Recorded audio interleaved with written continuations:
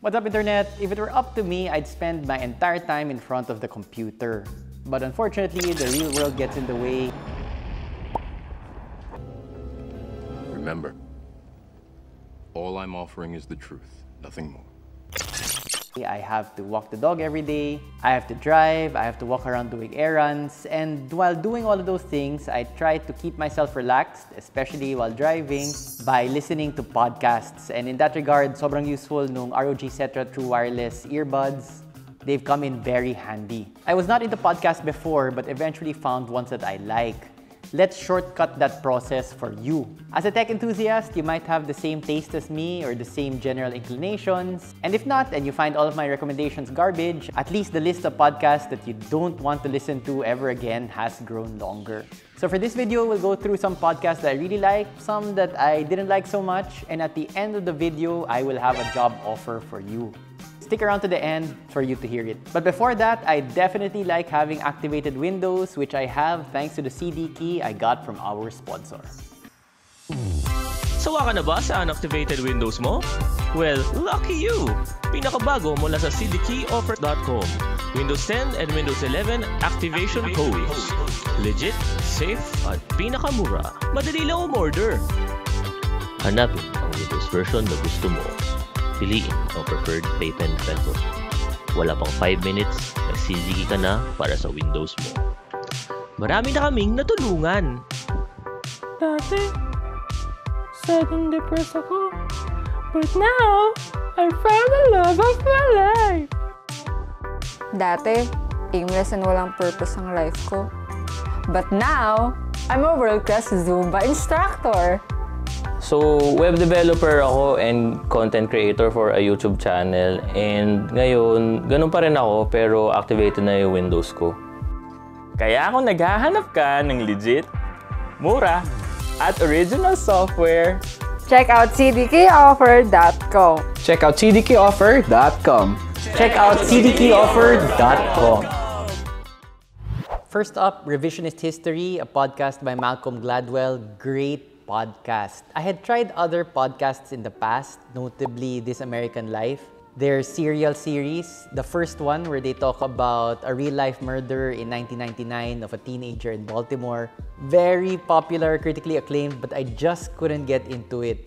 Revisionist History is the one that got me into podcasts and really showed me that they can be interesting and personality driven. Essentially, Gladwell takes different bits of history, contemporary and past, and offers linkages between them. Like how before McDo had the best tasting fries because they would essentially double fry them in beef fat. That all changed when a crusader in the States decided to get them to change the recipe ostensibly out of health reasons. So you're constantly jumping back and forth in time. An obscure 1800 merchant has important bearing on the right to bear arms and how the US Supreme Court decided contemporary cases like that. Obviously, I don't remember all of the details, all of the facts, and that's what's fun about the podcast. Obviously, you're not expected to memorize, there is no quiz after. You can just kind of let those interesting ideas and connections soak in. My favorite episode is the one where Gladwell profiles a researcher. Now, this researcher had a dad who was also a researcher, and the dad's life work was basically collected in data, which was preserved and archived. So the son also a researcher, medical researcher, was able to go back and using the data of his father, challenge the conclusions of his dad. Ginamit niya yung facts na in-establish ng daddy niya to prove that his dad was wrong. And at the end of the episode, the researcher was saying, I don't feel I was unfaithful or I don't feel it was a betrayal of my father's work. Because my father's work was not the data, my father's work was advancing science of establishing truth from data, not adhering to some dogma which isn't actually related to the facts that we gathered. So in overturning the conclusions of his dad, the researcher was saying that he was actually honoring his dad's memory. You may not agree with everything that Gladwell says. I don't agree with everything that he says. I have a suspicion that he doesn't agree with everything that he says. It's more of like being an intellectual provocateur. Parang he wants to tempt you with sometimes outlandish, always interesting ideas. Next one is one I didn't like If Books Could Kill Really Let Me Down. It's a podcast about books. I love books. I love talking about books. Where could we go wrong? But the tone of If Books Could Kill really turned me off. It's two guys tackling how nonfiction bestsellers oftentimes get facts wrong, make illogical arguments, and are generally not as smart as the books think that they are. And while the two hosts do make good points on the inaccuracies of the books that they tackle or the flaws in their argument. Before they get to that legitimate criticism, usually it's around 15 minutes of just bashing the book of the week. Now, I appreciate some snark in my life, but 15 minutes of it is over my limit. In a broader sense, it's similar to how off-putting it is to have, you know, that one friend who is super moralistic. Yung talagang palaging 100% sigurado siya na tama siya. And you're either A, going to hell, or B, just plain dumb if you don't agree with him or her. Hanging out with those kind of people is no fun at all. If you can't approach a topic with respect, whether it's someone's religion or a book that you're criticizing, or heck, just even what kind of flavor ice cream someone likes, if the bedrock of respect is not there, then how can the other party expect you to treat whatever the subject is fairly? To actually discuss something instead of just trying to score points of how terrible you think it is. On paper, this podcast should have been me. The politics discussed, I generally lean in that direction. The books discussed, I usually have an interest in, but the tone was just really off putting for me. The next are two podcasts, but they're by the same guy, so I'll just take them together as one The History of Rome and Revolutions by Mike Duncan. So these are straight up historical podcasts, and the host excels at taking a lot of research and making it very accessible. So the first one is a history of the Roman Empire all the way back. I mean like the founding of the city, all the way up to empire, all the way up to decay and the first few episodes are a little rough, especially if you start with Revolutions first, where he has already mastered his style. History of Rome came first. But after the first few episodes, he really gets into the groove, and there are a lot of nice small details which he captures to make the wider scope of the history that he's talking about come to life. So you get the grand arc of the history, but at the same time, it's grounded in people and events and really very particular kind of details. I can't imagine the level of work that went into this. From the research, to writing the scripts, to producing, to recording, and he does talk about it a little bit as the series goes on. I started first with Revolutions, which is a history of different revolutions. The first is the British, and then American, then the French.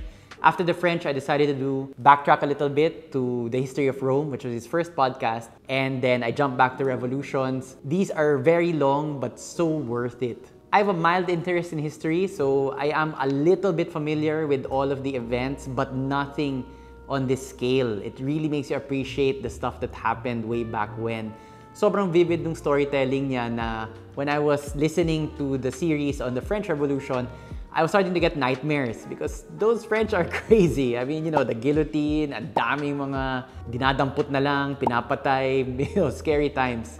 So it's like little details, fleshing out the greater historical narrative, and also placing each revolution in context with one another. Great stuff, not dry at all. The host is very engaging. And this is my primary podcast. The others I will listen to and interchange or mix it up with Revolutions, but usually Revolutions is the one I'm listening to now. Now, I admit that the podcast that I like can seem to be a bit highbrow, so I wanted to try something more mainstream. And what better than one of the most popular, if not the most popular podcast in the Philippines, Sky Podcast, hosted by married celebrity couple Slater Young and Kryz Uy. And the chemistry of the hosts is great. Just because you're married doesn't mean that you can do something public like this well, but they pull it off so natural. There seems to be genuine affection between them. It really works for the podcast that one can reference, oh, do you remember the time that we did this or you said this and I did that? It rolls off so well from the hosts. And they are very engaging, natural storytellers. But man, the stories or the facets of their life that they choose to share on the show. One show that I listened to was the hosts kind of reminiscing that, you know, we're older now and a bit more mature, but in our younger days, we felt that fame was everything or being the most popular was everything. Yung tipong papasok ka sa club and everyone should look at you or you should always have designer because people should associate you na, oh, that's the kind of person who wears designer, whatever. He or she is a success. Or one of the hosts sharing that their point of view before was that the world revolved around them, that their parents were there to support, to make sure nothing ever happened, that the world was their oyster. And then the realization now that fame is not the end all and be all of everything, and now that they are parents themselves, they realize that they need to put the needs of others first other people are the priority now. And I agree that these realizations or epiphanies are productive, that that is a better way of looking at the world. But as someone who never cared about being popular, famous, I mean, this face, this face was not popular with the ladies as someone who never cared about designer things, about manifesting success externally through the trappings, like, oh, I went business class, oh, I have designer this, oh, I have a fancy sports car. As someone who never cared about those things, I find it very hard to relate. There's a lot of life in Sky Podcast, but it's not life that I'm interested in. Ending with the latest podcast that I'm really enjoying now, Reply All. And this is a lot more bite-sized than Revolutions or Revisionist History. Initially, the format was a new app per week, but they quickly expanded it to a discussion about how tech has become ingrained in our lives, but we haven't really quite figured out how to really live with it. The hosts are very internet culture meme savvy and one of the earlier episodes which stood out for me was their interview with the guy who created the pop-up ad an enduring legacy of the internet, especially for those of us who grew up when the net was still new. They are not gamers, so their knowledge of certain genres or sub niches of culture is a little limited or a little mainstream. So when they talk about doxing, a typical viewer of Hardware Sugar would probably know more about that than what they discussed in their episodes. But in general, in terms of breadth and thoughtfulness in how we are to live with all of these changes around us wrought by our cell phones, our always online social media culture, these are snippets of life which are fascinating. So some podcasts that I liked, some I didn't like. If feel free to agree or disagree, please let me know in the comments. If you do have some suggestions, because I am constantly on the lookout for more podcasts to relax to while walking the dog. And as to the job offer that I mentioned at the start of the video, I am trying to upgrade our podcast. Hardware Sugar has a podcast, tech show but friendly. Before it was like general run-of-the-mill hardware news, I'd like to expand the scope of the podcast. So I need a producer, or rather, in reality, what the producer would be doing would be like internet researcher. I want to dive into the memes of the Philippine internet. Ano ba yung uso sa mga tech enthusiasts ngayon na pinag-uusapan online? Whether that's some TikToker that claims a 50,000 peso build can do 200 FPS on Warzone or something like that, to the teacher who caught his students playing online games during an online class, sort of behind the scenes of those guys. And I admit I was inspired a little bit by Reply All, but I realized that I can't do that on my own. I need someone who is a very good internet detective who can sleuth online find out where these people are and reaching out. If we can interview them, bring their story to a wider audience. Like, I'd love to interview scammers. Do you ever wonder, like, yung mga nagte-text sa'yo na obviously scam, ano ba yung iniisip nila? What's their story? What's fueling these texts? Do they work all together? Probably a syndicate. So, there's that, the kind of like the stories behind the technology that we experience every day. If you feel that you have excellent internet research skills, I am serious about this job offer. Please email us at hardwaresugar at gmail.com and we might be in touch depending if we have an interest in your resume. With that, happy listening. Thanks for watching.